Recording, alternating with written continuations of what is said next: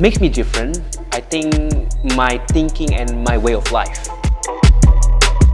As I believe that everybody is different, nobody is the same. For me, I'm lucky because I am an artist, I can express it through my paintings.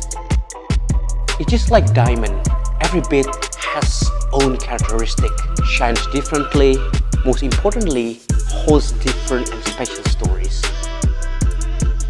All shines brightly at its own rarity.